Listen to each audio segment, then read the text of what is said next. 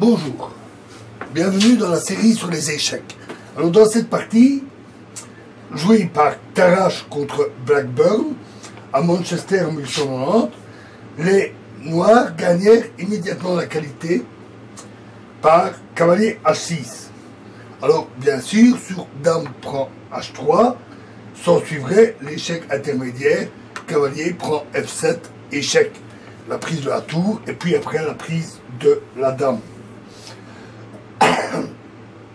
Donc dans la partie, cela continuera comme tour E7, dame prend E6, tour prend E6, et cavalier F7 échec, et cette fois-ci, c'est l'autre tour qui tombe.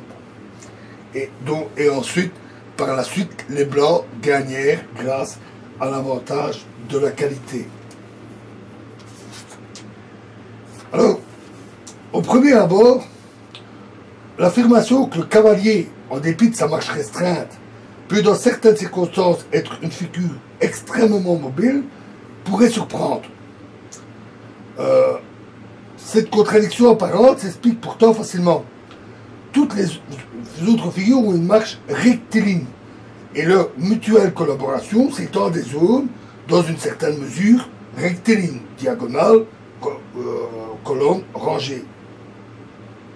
Le cavalier, par sa marche originale, sort toutefois complètement de ce cadre et sautant par-dessus les pièces au-dessus des zones dangereuses, il peut attaquer une pièce adverse sans être jamais menacé par elle.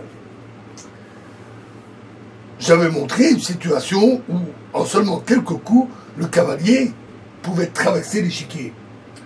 On a vu, euh, dans certains des exemples, quelle brillante performance peut réaliser le cavalier dans l'attaque des pièces adverses et dans la protection des points menacés.